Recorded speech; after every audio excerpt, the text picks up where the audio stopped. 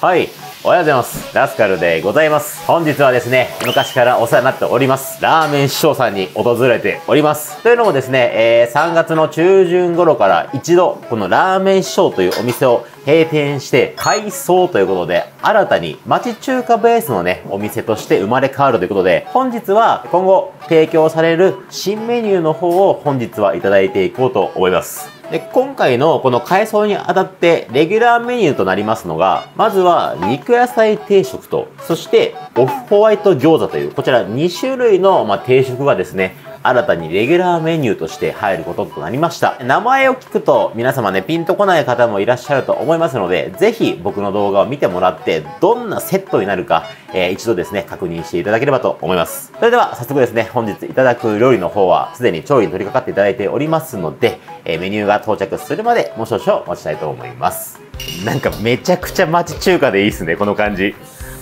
そうでしょうまそうだ。肉入りすぎ。すげえ。ありがとうございます。はいうわ、すっげえ。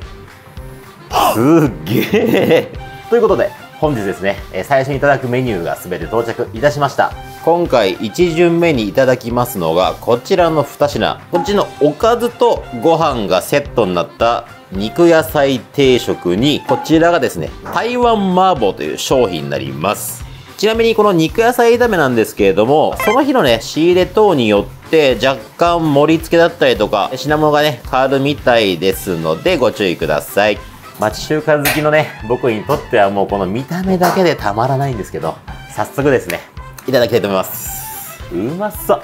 まあ普段通り、本当だったらこれ麺からいきたいんですけれども、えーすでにですね、ちょっともう油が溢れておりますので、まずはこの肉野菜からいただきたいと思います。ちなみにね、この牛肉だけで、この一皿で、だいたい 250g 前後、入ってるらしくてですね、肉だけでほぼステーキぐらいの量入ってます。ちょっといただきます。うわ、ステーキじゃないですか、これ。改めて思い返すと肉野菜って聞いたから薄切りのねお肉程度かと思ったんですけどもうほぼサイコロステーキというか。うわ。うわうめえ。味付けはねしっかりとその町中華らしい味付けなんだけどなんだろうな。肉野菜炒めの味付けのステーキ野菜定食っていうのかな。もううまこれ。うますぎる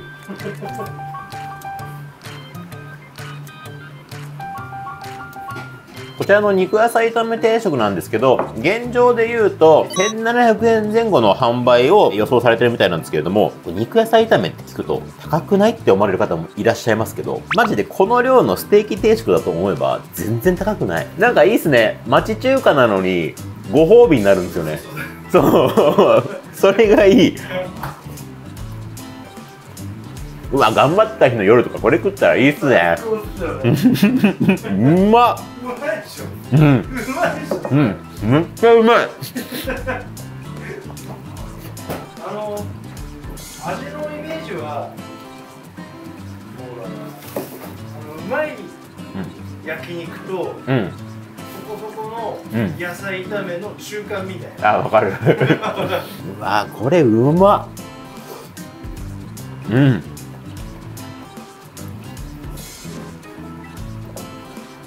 ちょっと続いてねこの辺りで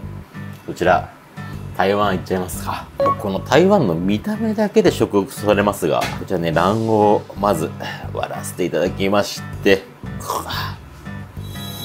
これ麺。うわーうまそうこれ。やっば。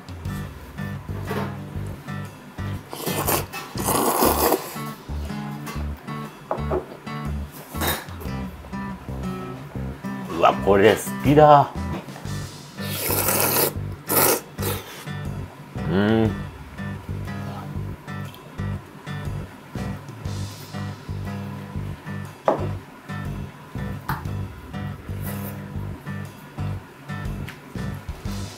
フフフ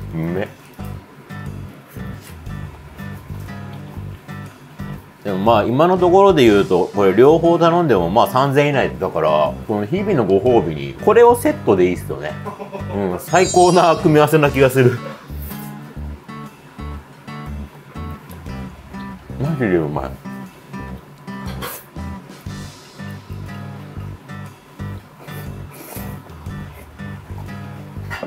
これめっちゃうまいっすよ。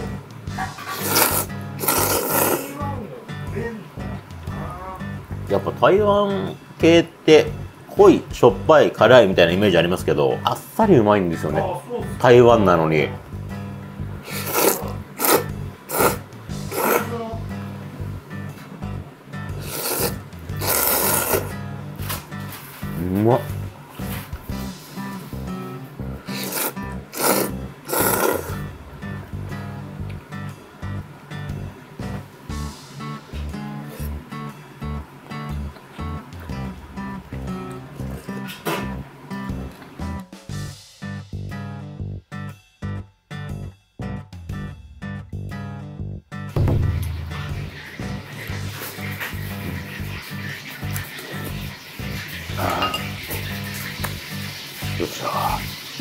ちょっと1巡目から下ったっすね。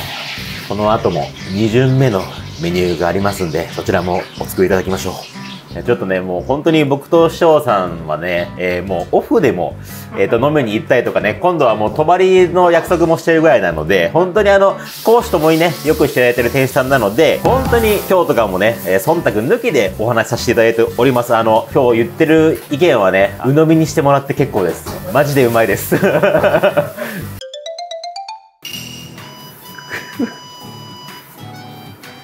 うまそう。たまんないっすねこれうわーうまそう。ということで本日のですね2巡目のメニューが到着いたしました。えこちらがですねオホワイト餃子セットということでこんな感じで餃子の入った塩ラーメンにプラスでこれチャーハンがつくセットとなっております。もうこのビジュアルだけでやばいね。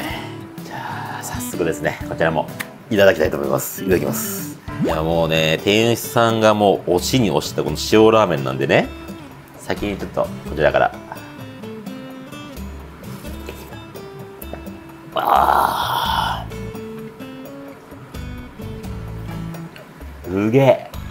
うめえ。タンメンぐらいこ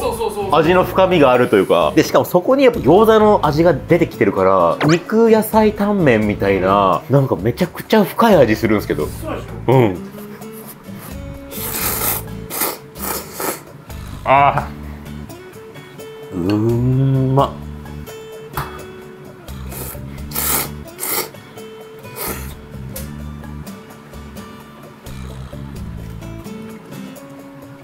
うわーなんだこれ。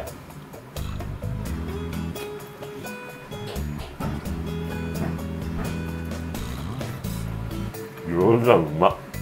またこれね食べ方がお客さんによって自由なんでそれいいっすね。一番ねバカっぽいもうバターコーン餃子全部合わせて。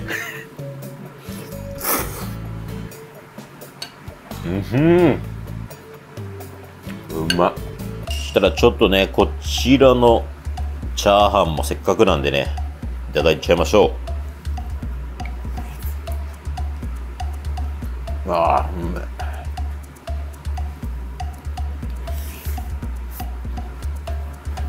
あーうまい。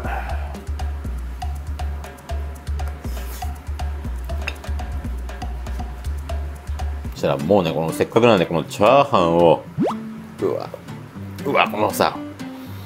塩バタースープに浸していただきます。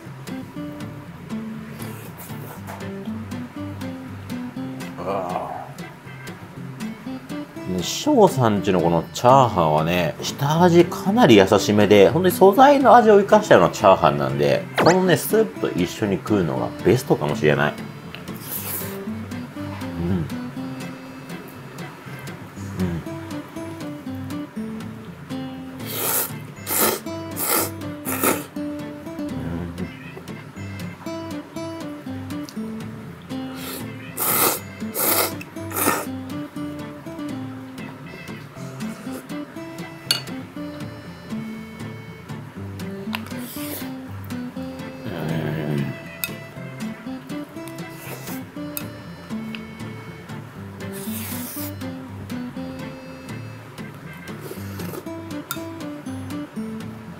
のセットはね、ラーメンの中に餃子も入ってるし、チャーハンもついてくるんで、もうせっかくですから、周りの目を気にせずに、こう本能の赴くままの食べ方で食べてほしい。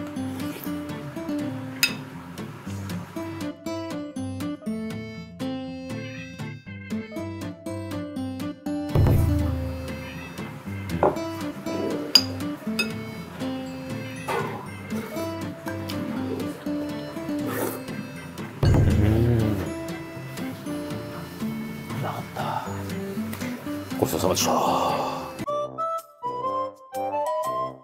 ということで、本日はですね、新たに改装直前になりますラーメン師匠さんで町中華師匠の新メニューを本日はいただいてまいりました今日のね動画に関しましては言葉遣い等も含めてあの見てもらうとわかると思うんですけども完全にその動画モードとかではなく素でねテンションが上がってしまうような美味しい数々の料理ばかりでございました。まだですね、リニューアルオープン後に関しましては、どうしても営業のね、携帯とか慣れが必要なので、こう、ちょっとメニュー数をね、限って最初は営業するみたいなんですが、順次ですね、いろんな限定メニューだったりとか、仕入れによって、え新たなメニューがね、どんどんどんどん生まれてくるということだったので、そういった情報に関しましては、師匠さんの公式 SNS、まあ、Twitter 等で発信しておりますので、そちらの情報も逐一チェックしてもらって、この町中華師匠の美味しい料理食べてみてください。はい。ということで本日もご視聴ありがとうございました。この動画だと思ったらチャンネル登録、コメント、高評価、またですね、最近ではサブチャンネルでも活動を行っておりまして、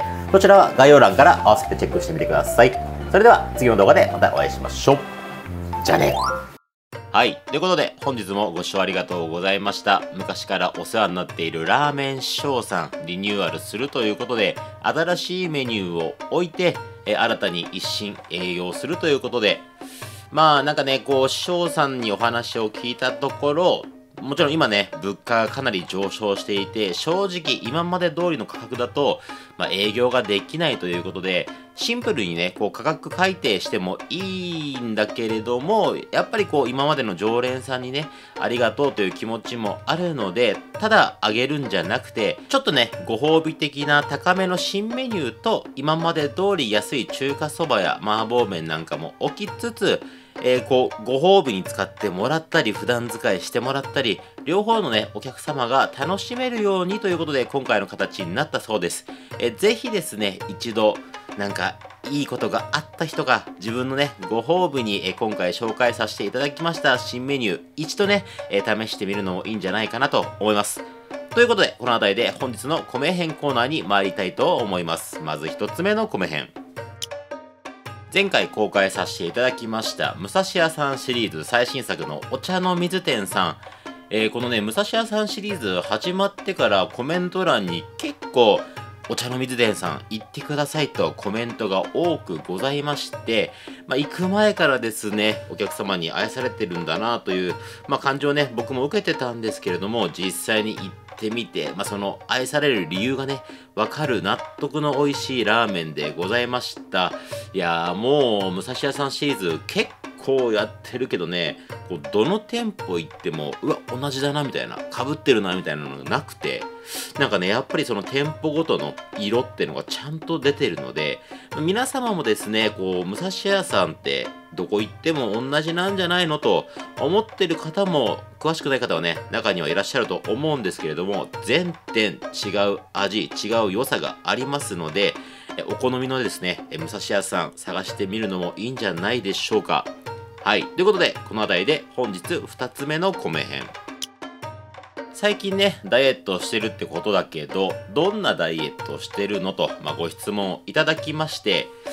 うーん、まあ普通の方と同じなんですけれども、もちろん運動と食事制限両方してますね。運動なんかは自宅でも今ダンベルがあってトレーニングしたりとか、ジム行ったりとか、